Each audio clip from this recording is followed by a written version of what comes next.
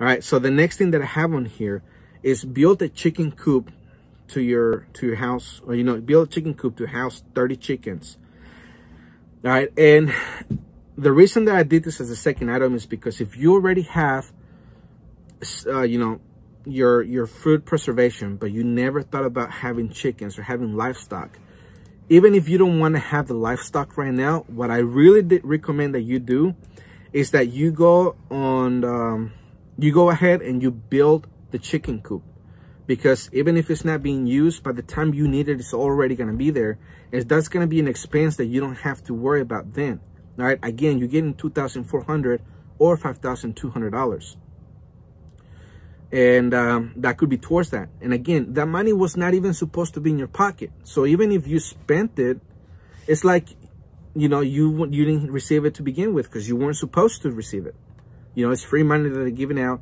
If you don't need it, right, I'm saying if you don't need it to make sure that you still stay in your house and stuff like that, if you were able to work and not be really be affected by this, then this is the step you should take. All right, you're gonna be you're gonna be the judge of that. All right, so the next pictures that you're going to see is this because this is what I do um, with my own with my own money because I'm very limited on money. You know, I don't have stacks of money laying around. So what you're seeing in front of you is something that we we try to do in our chicken coop. All right, so when I bought my house, it already had a barn, and of course, when I went out when I went out and bought my house there was certain criteria that I was looking for so I can, you know, I checked off the list and everything I was able to to check off the list and it was amazing. You know, it was a gift from God and I'm really glad and I'm very thankful that he gave me this home. Now, this this house that I that I have where I live, um, it has a barn and the previous owners they had two horses. So what I did is I turned that barn into um, into chicken coops, you know, where the horses used to be. Now the chickens are staying there.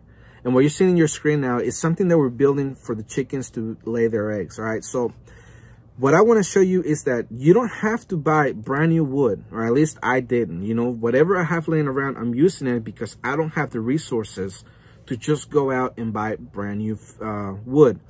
What you're seeing right here is a plank of wood or, you know, um, whatever it's called, plywood that it's pretty old. It was just sitting there. Actually, this is from the previous owners. This is not even mine that they just left in the barn. And we used it to make the chicken, you know, the, the, the stuff that the chickens are going to be laying their eggs in.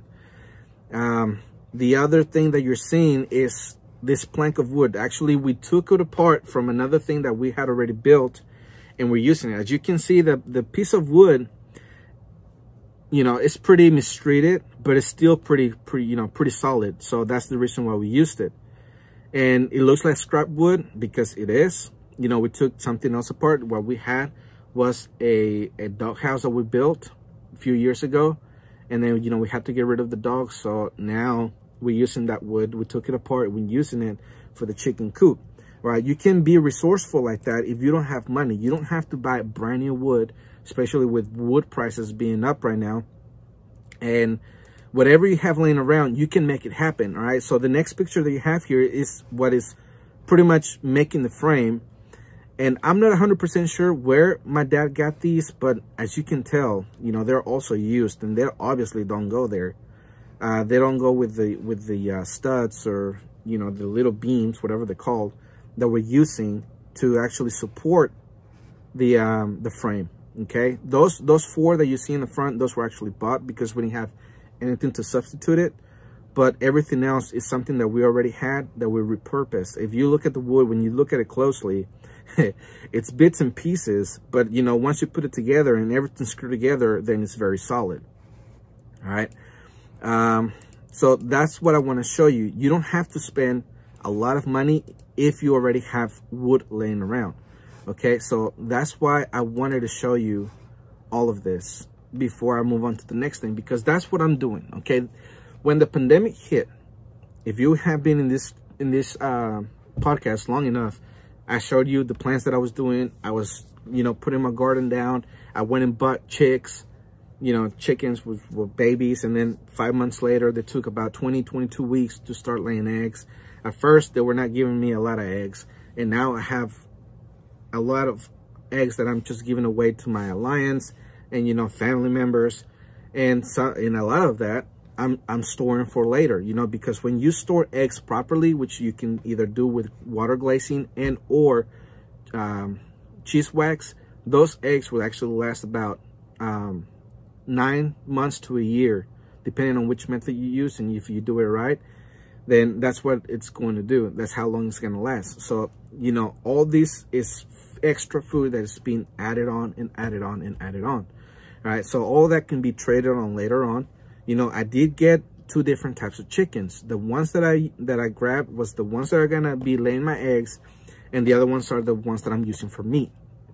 So even if the the the the chickens that I'm using for meat are not laying any eggs for me, later on they're gonna be serving their purpose. You know, right now they have a good life, they're free range, they eat all the bugs that they can, they eat um, the food that I give that I put out put out for them, and they have a good life right now. But when I need them, I'm just gonna you know process it, and then I'm gonna be able to feed my family and my alliance with all of that. Then um, the chicks or the chickens that are laying my eggs doing a good job. So they don't have to fear about going into the chopping block, you know. So you have to make sure that you keep them healthy, that you keep them happy. That way they can be laying a lot of eggs for you. Right now, I'm, I'm collecting about 12 eggs a day. And this is, you know, now winter and it's cold out here. During the summer, it was about 20 a day. So, you know, I've had, had a lot of eggs coming through. So that's why it's important for you to go ahead and build the infrastructure, have it in place. If you don't want to have the chickens yet, just have it ready from when you do have them. That's why you have to have, at the very least, 22 weeks worth of food ready, stocked up for you to wait for your chickens to, you know, grow up and start giving you produce or, you know, giving you eggs. But you actually, you know, you want to have more than 22 weeks. But you get my point. All right. So I don't continue rambling on and boring everybody. You know, this video has already gone um, an hour and 20 minutes. That's before even editing all the pictures and whatever else that I need to put on here. Um, but that's the reason why we're going to chop it into pieces and, and, you know, you let us know if that's more convenient to you rather than having one big, really long podcast and, you know, me trying to cut it down to just one hour.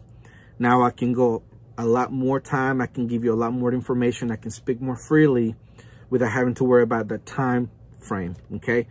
The Man-Made Survival Show.